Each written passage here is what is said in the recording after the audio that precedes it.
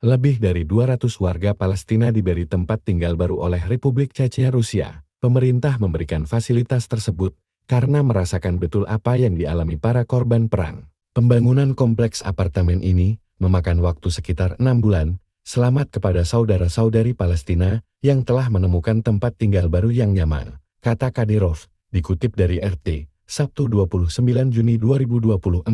Kadirov menyebut, 55 warga Palestina kini sudah mendapatkan pekerjaan, sementara anak-anak dan remaja juga mendapat fasilitas belajar di sekolah dan universitas. Kadirov mengatakan, para pengungsi Palestina semuanya telah belajar bahasa Rusia. Rencananya pemerintah Chechnya akan membentuk komunitas Palestina di kota tersebut, sehingga warga Palestina tetap bisa mempertahankan identitas nasional mereka. Kadirov sendiri merasa prihatin dengan warga Palestina yang kelaparan hingga kehilangan orang terdekat akibat perang.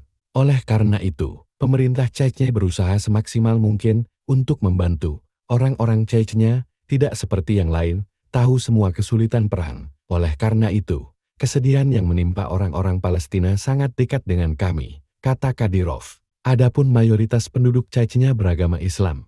Kadirov juga telah berulang kali menyuarakan dukungannya terhadap Palestina sejak Israel menyerang Oktober tahun 2023, Kadirov mengatakan, pemerintah memang sengaja membangun apartemen untuk warga Palestina. Baginya, kesedihan yang dialami para korban perang juga pernah dialami oleh negaranya. Karena itulah Chechnya memberi tempat tinggal yang layak karena rumah warga Palestina hancur diserang Israel. Kadirov mengatakan, seluruh pengungsi Palestina yang tinggal di sana sudah belajar bahasa Rusia. Nantinya, pemerintah akan membentuk komunitas Palestina di Chechnya dengan begitu, mereka tetap bisa mempertahankan identitas nasionalnya meski hidup di negeri orang.